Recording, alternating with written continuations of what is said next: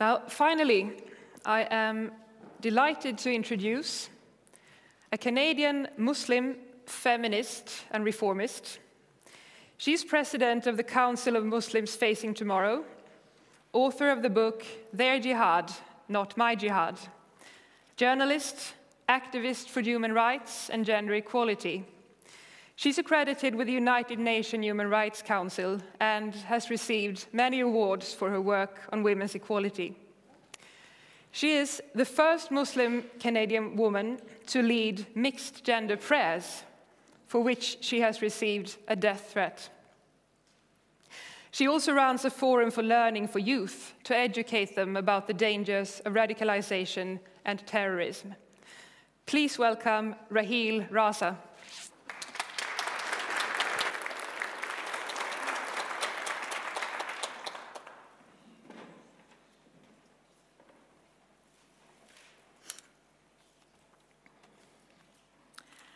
Respected members of uh, Parliament and friends, uh, good morning. It is um, really an honor and a pleasure to be here today uh, and to see the work that is being done uh, for women's rights. Let me tell you a story about Canada. Sometime in the middle of a June night in 2009, Mohammed Shafia, an Afghan immigrant to Canada with the help of his eldest son and one of his two wives, put his three daughters, aged 13, 17, and 19, and his first wife inside a car and pushed the car into the Rideau Canal, where all four of them died. This was a murder committed in the name of honor. Shafia believed the daughters were too interested in boys, they were too immodest, too Western to live. And he believed that his first wife, Arona, was a bad influence on the girls. The community went into denial immediately. And many women's groups clamored to say that this should not be called honor killing, but that the murder, but we know that the murderer in this case and in many other cases used the word honor as the intention to explain why he did what he did. And this was something that was uh, groundbreaking in terms of their prosecution and their final uh, commitment. Now, this happened in Canada, but I'm sure this sounds familiar to many of you because you can relate to the stories of Fadime, of Pela, of the many other girls who have been victims of honor-based violence, plus, you know, thousands of others whose stories are never told and whose voices we have to be. The uh, important issue in all of this is that in many of these cases, in fact, in the majority of the cases, the victims gave out signals that all was not well and that they needed help, but they were ignored. The, uh, in, in the case of what the work that we do in Canada, we, under the uh, rubric of honor-based violence, we consider forced and underage marriage, honor killings, and female genital mutilation. Uh, female genital mutilation, by the way, is one of the most horrific acts and one of the largest issues in North America.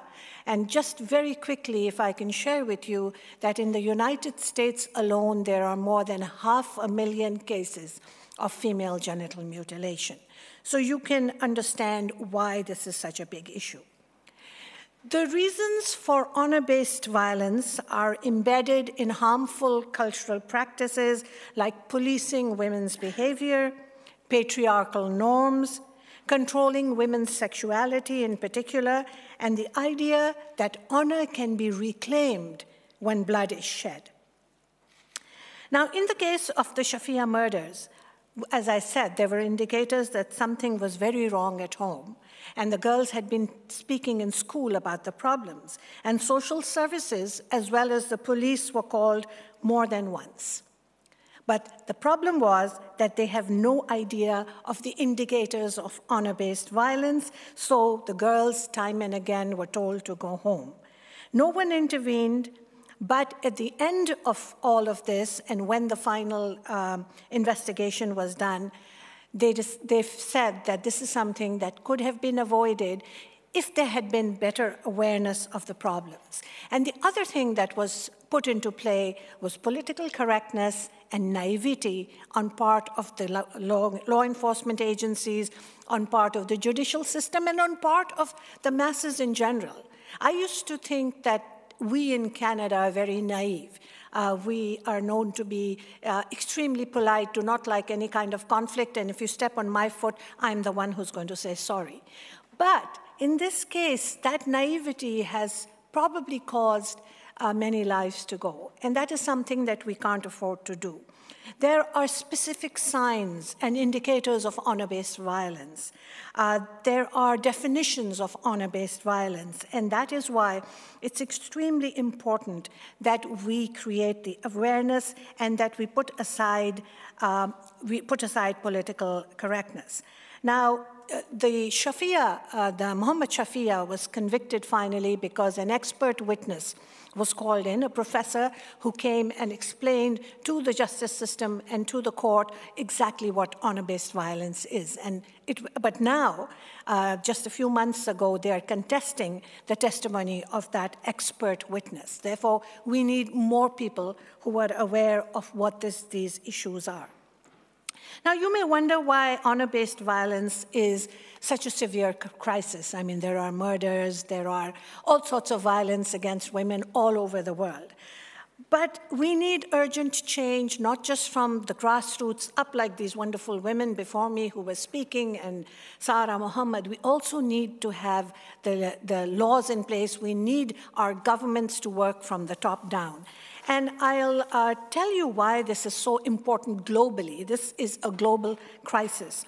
In a poll conducted by the Pew Research Center that was titled The World's Muslims, Religion, Politics, and Society, it was found that an average of 39% of Muslims surveyed think that it is often or sometimes justified to kill a woman if she engages in premarital sex or adultery. Even if you take a wild guess to how many numbers this is, it translates into 345 million people who believe that it is justified to kill a woman. This is a horrific number. And this is growing because we are not waking up to the fact that honor based violence is not just happening out there, it's happening in North America, it's happening in the United Kingdom, it's happening right here in Europe, and of course in Sweden. Now, the numbers are very hard to follow because we don't have so many statistics. But let me very quickly share with you that in, in countries like Jordan, the numbers of uh, uh, honor killings are extremely high. Uh, even in a study of honor killings in Egypt, 47% of the women were killed by a relative after the woman had been raped. In Jordan and Lebanon, 70 to 75% of the perpetrators of these honor killings are the women's brothers. Now, the shocking part is that Article 340 of the Jordan Penal Code states that he who discovers his wife or one of his female relatives committing adultery and kills, wounds, or injures one of them is exempted from any penalty.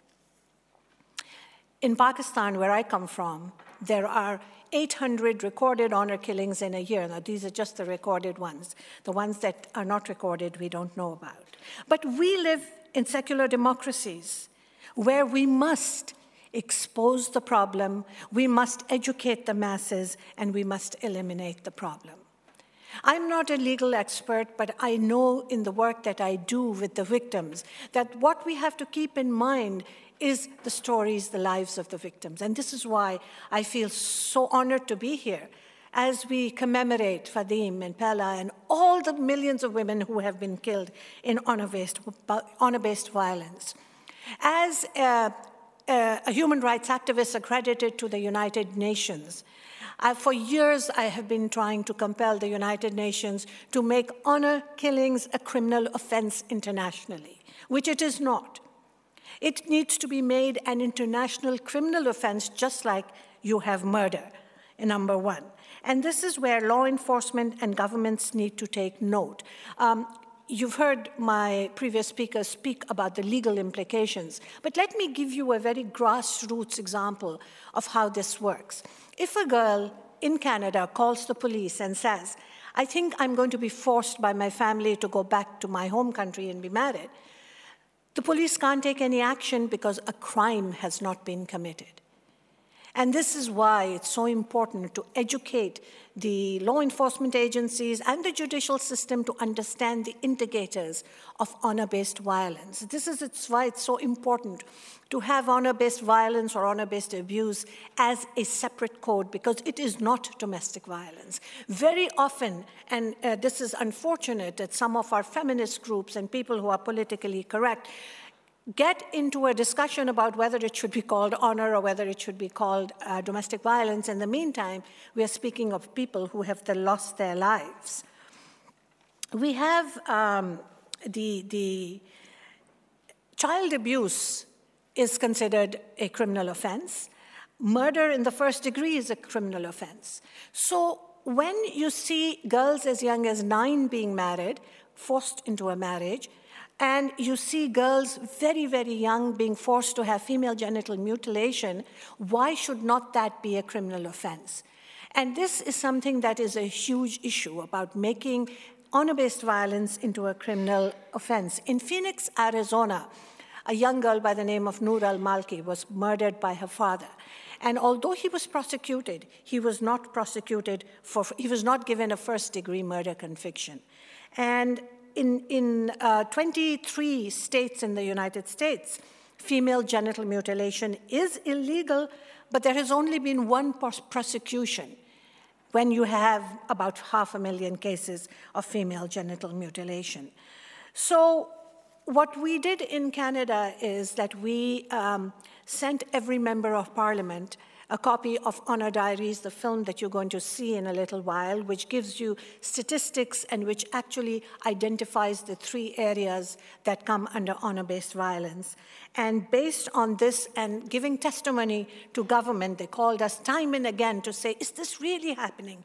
Can you give us examples? Can you bring the victims? Now, we've heard that it's very hard to bring victims of honor-based violence to come and speak in Parliament because they're afraid for their lives. But we managed to take some victims. They heard their stories.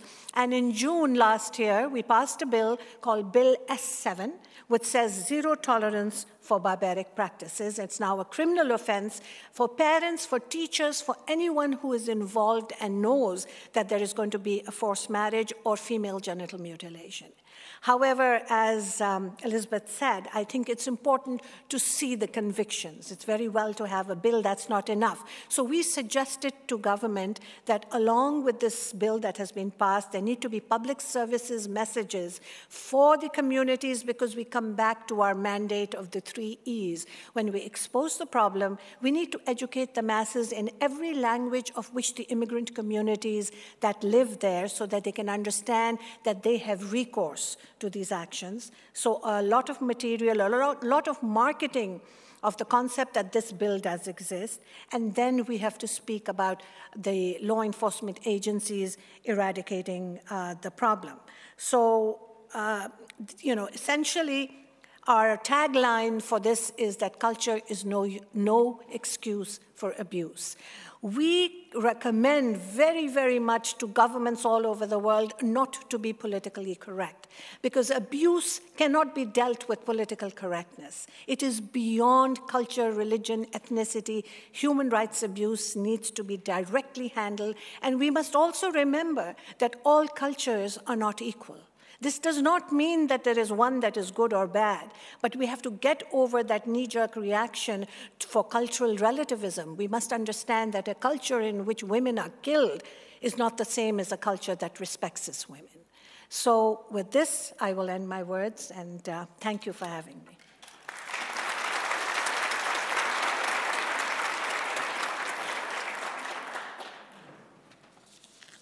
Um, Thank you so much for this. I, I would like to open with a, a very burning question, if you don't mind. Sure. Now, uh, you just said that uh, honor oppression is beyond ethnicity, culture, and religion.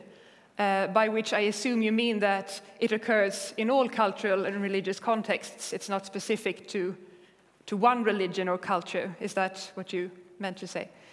Yes, honor, uh, honor-based violence does exist in uh, many cultures. Right. It exists in South Asian societies, but it is also statistically found more in Muslim majority societies. Right. Um, so my question is, what, what is the role, really, of religion in the honor system, in the norms and practices associated with this concept of, of honor? I know it's a very broad question, but it's also a much debated one. And since I know that you yourself are, are a believer, I, yes. I would very much like to ask you this. I don't believe that, well, I am a believer, but I don't believe that any faith at its core, in its spiritual message, asks for violence against another human being. That is my belief. However, for centuries, religion has been misused by people of all ilks to promote subversive agendas. And in the case of Muslim majority societies, because I am a Muslim woman fighting from within the faith for reform and change, it is uh, man made laws known as Sharia laws. We heard Diana speak about Sharia courts in, in England. It is through secondary commentary, it is through the politicization of the faith. And more importantly, it is because of power, patriarchy, and politics mm -hmm. used under the disguise of religion to promote these, uh, these habits. So, and it's done in a very subtle way. So while you would not have a religious leader, for example, saying, you must kill this woman, there are ways of saying that it is dishonorable and the honor of the family must be somehow redeemed, and that they understand to mean that it means taking blood. Now, I should also mention, for the sake of the audience, that honor killings are a very, very old tribal practice. They have existed since before religion. But many communities were able to move ahead to modern times, to the 21st century, and say that this is not something we need to do now. You know, it's not something that, that exists today. Unfortunately, there are other societies in which it still continues mm -hmm. because the judicial system, the, the, the outlying community, and everyone looks the other way. And, you know, this is the idea, this is a ghettoization of that community. Well, it's their cultural practice, and nobody wants to speak out. So it, it's quite a complex uh, issue, obviously. But uh, so you're obviously a, a very liberal Muslim. Yes. too, uh, liberal for some people. Really? well, I, I, I, can kind of imagine what you mean. Now, uh, so, so your interpretation of, of Islam, uh, as, as you say, is, not the majority's version, not the, the dominant version in Muslim majority societies of today. What, what do you think it will take to implement, to, to, to make Muslim majority societies embrace your views and your liberal, liberal, liberal outlook on religion? Um, thank you. Thank you for that question. Um, it will take time. Uh, if we look at other faith communities, for example, the Christian Reform, you know, it was not something that happened overnight. No reform happens overnight.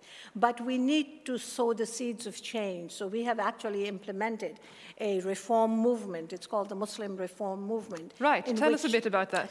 Yes, so um, just very recently, in the beginning of December, about 14 organizations and individuals got together in Washington, D.C., and we signed off on a declaration called the Muslim Reform Movement. There is a Facebook page for it, plus a website, just muslimreformmovement.org. And uh, in this group, there were men, women, and two imams. And we decided that we need to uh, look at bringing our, our understanding and interpretation of Islam into the 21st century. And one of the most important factors in that, along with governance and um, uh, working with society is gender equality and to, to make sure that this balance of gender equality and the taking out violence from any kind of interpretation of and understanding of Islam. So we signed off on this declaration. We had a press conference at the National Press Club, Club in Washington. And our first act of defiance was to go to the Saudi funded mosque in Washington, D.C. and pin the declaration to their door under the threat of being arrested, of calling the police. And then uh, the men, my husband who's here, was helping us in this. He pinned the declaration. And then three women went and prayed in the main section of the mosque that has never happened in the history of the Saudi funded mosque. So it was a bit of shock to them. I don't think they've gotten over it yet. So what happened? But, how did well, they actually react? Well, what happened was that the men engaged these guards, these huge, bulky, six foot guards who kept saying, We're going to call the police. This has never happened. No, sister, you can't go and pray in the main section. We go to the women's section. And we said, No. This is a place of prayer for men and women in the Prophet's mosque. 1400 years ago, men and women prayed side by side. We are not asking to lead prayers, we just want to reclaim our original rights and he, they went to pick up the phone, and I said to my two friends, let's just quickly start praying. They can't arrest us while we are praying. So we went into the main section. We were properly dressed, head covered, and all of that. And we prayed, and we got a picture of that. Wow. And they were just sort of left blustering. Uh, as I said, they're probably going to put locks on the door now. But we did it. And this was just a step for, for gender equality to instill that we are equal, because that is what God wanted originally, is from you know, spiritually for men and women to be equal. So it's not that it is an aggressive movement. We have a lot of um, very strong um, uh, language in our uh, declaration, which, as I said, is on my website at, at, Muslims Facing Tomorrow on their website, where we say that the concept of armed jihad, which was a 7th century concept, and it existed because there were no uh, nation states, there were no boundaries, these were tribal communities. We say, leave it in the seventh century, denounce it openly, and let's live a life of peace, tolerance, equality, and understanding with each other. Now, you have said that you believe that change has to come from within yes. the Muslim community. Could you elaborate on that a bit? Why is that? That is because if you said what I have just said, you will be called a racist. And right. we've, we've, heard this right. over and over again this idea that anybody who is from outside the circle of the Muslim world, if they criticize uh, anything, uh, terrible that is happening, even honor killings, uh, that is happening, say, by Muslim men, they will be called racist and they will be called Islamophobes. And this Islamophobia industry has been marketed on the backs of billions of petrodollars so that politicians, so that people who are not part of the community will be silenced and they will be afraid to speak out. And unfortunately, a large part of the non Muslim world has bought into this. They are terrified of being called racist. And if you see the one hour version of the film Honor Diaries, you will hear me say that don't be afraid to be even called a racist because you know that you're not if you're criticizing some things that's right. That's right. Because in your fear of being called a racist, someone's life may go. So, how is it that we can sit back and look at the statistics? How is it that we are here in this room today and we are commemorating the lives of these girls who could have been here with us? I would say that it's political correctness that took their life. I would say that it's lack of understanding and sensitivity for this that took their lives. I would say that their lives should not have been taken in vain. What we need to do is build from that, take it from an example, and never, ever be afraid to speak the truth, no matter what the labels are. Uh, and, and so the fight from within the Muslim world is so that they can't slap me with a label of Islamophobia. So I need to be the frontline warrior in this battle and have support of everyone else because we can't do it alone. But I have always said that Muslims are the frontline warriors in this battle against a radical Islamist ideology, which is what feeds the violence against women. As there is a rise in a radical Islamist ideology, and I'm afraid to say that I've seen it exist here in Europe as well, very much so. And we should be talking about this at every government meeting. Why did the issue happen in Cologne in Germany on New Year's night? Nobody wants to go into the minute details of why it happened. Is there some sort of um, uh, mandate out there? Do you know that I have been sent emails from people in Canada telling me that you are in Sweden. Please make sure that the lawmakers there, the government understands that there is a concentrated effort. There are young women, uh, white women being raped. There are Swedish women who are being assaulted and insulted. And this is all part of a, a sort of an Islamist campaign. But I'm afraid nobody wants to talk about it. So I am.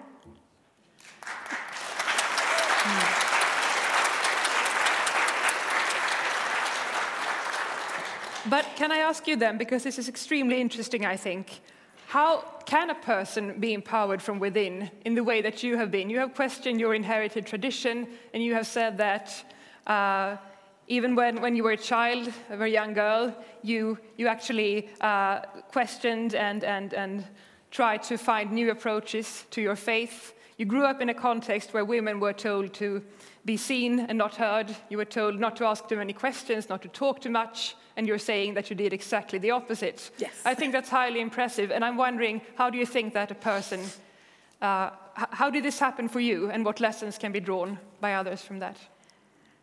Well, it's a journey. It's a journey, and it's not an easy journey. It's very challenging. I have heard uh, Rashid talk about, uh, you know, how your family uh, move, so your distances themselves from you. Uh, it takes a lot of sacrifices, and in my case, I'm particularly gifted because I have support uh, from the people around me, from my immediate family and, and my children.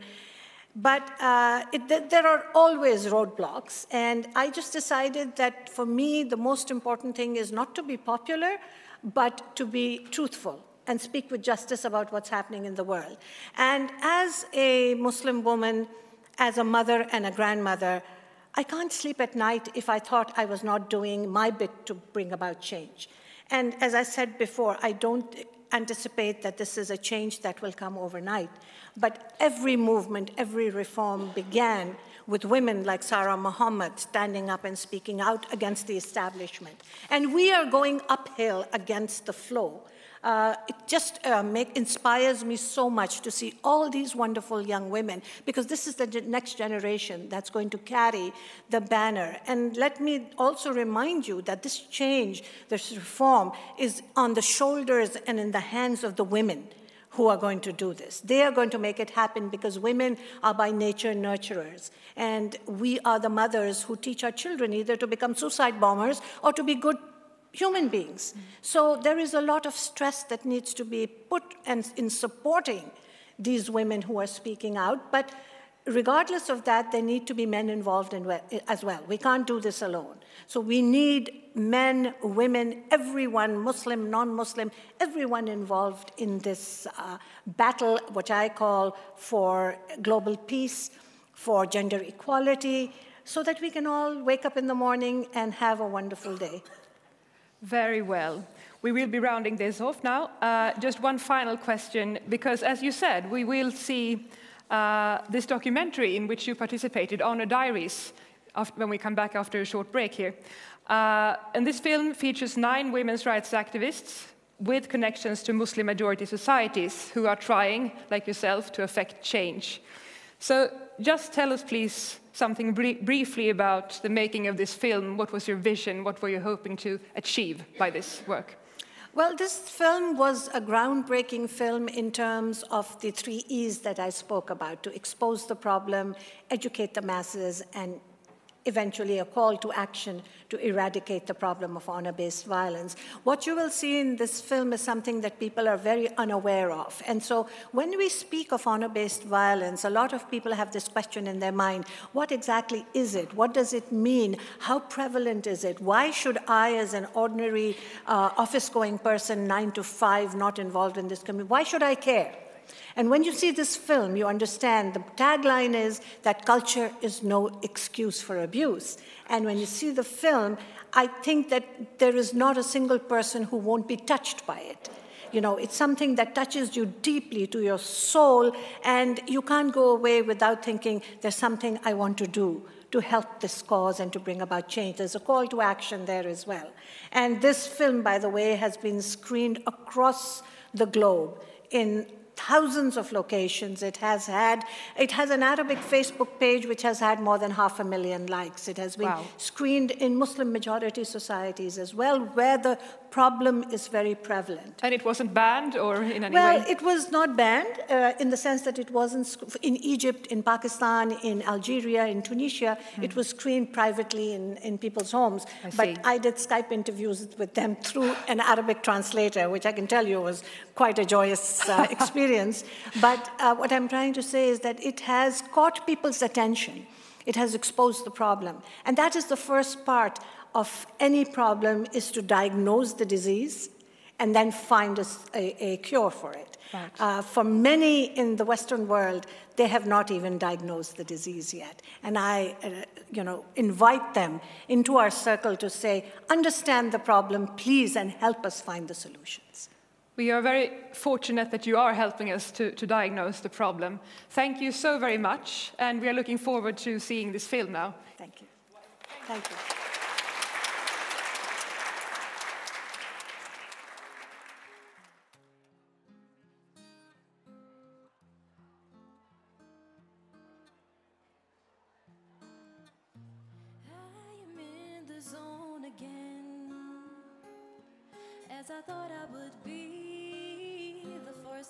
Pushing me over the edge.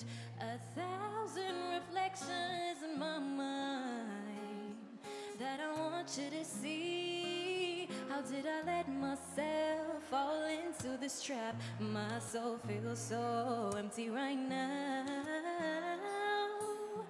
But I won't keep silent about the silence, and all my eyes see is the busy street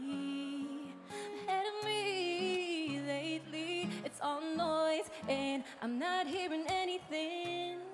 When you lose yourself in the depths of your sorrow, free yourself from all the pain and break out of prison, fight through anything. And if you let yourself go and hold your head up, you're strong, and soon you'll find the happiness, and it